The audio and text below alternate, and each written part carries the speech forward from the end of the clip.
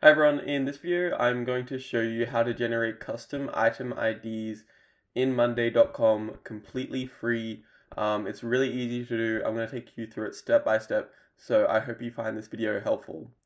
Um, so I'm in monday.com right now as you can see, and I've got my board here, and these are the item IDs that are provided by monday.com by default. And as you can tell, these aren't very user friendly. They're difficult to communicate with others. They're not very intuitive. Um, and, and, they mean absolutely nothing. It's just a random series of digits. Our goal and what we're going to do by the end of this video is create custom IDs similar to this. They can be in literally any format you want.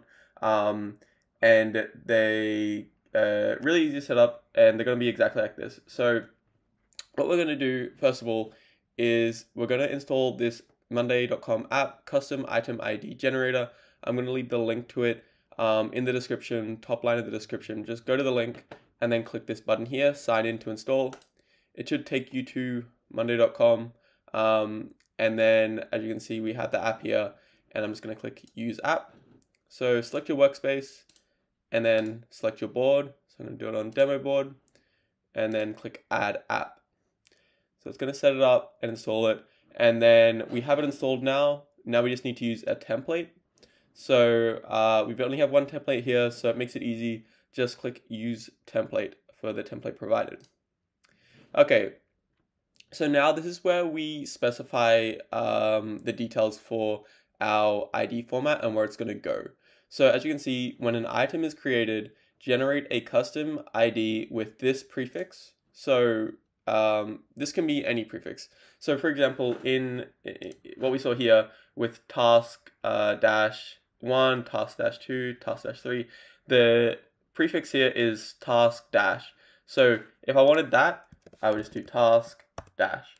Um, it can be anything. You, you can literally just write whatever you want, and then it's going to be followed by um, a number. So I'm going to just do that task dash, and then uh, prefix followed by an auto incrementing number and put the value in and then we want to uh, specify where we want the value to go our um, ID column. So uh, ID if you need to create a new column just create a new column as you normally would or do it here. So once we've done that we can now click add to board. So that's it. That's literally all you have to do. Um, it took us what two minutes and now it's all set up. So let's see it in action. Um, if I do new task, um, it's going to generate it. Obviously, I wrote these ones in manually just to kind of show you how it works. Um, this one that we're going to get generated is basically going to um, start at one again. So um, these are just text, these aren't related to the automation. So if I do another and another.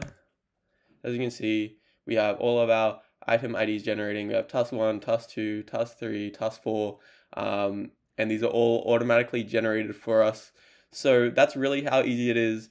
Again, I'm going to leave a custom item ID generator at the top of the description for you to install. Um, I really hope this video was helpful. Thank you so much for watching.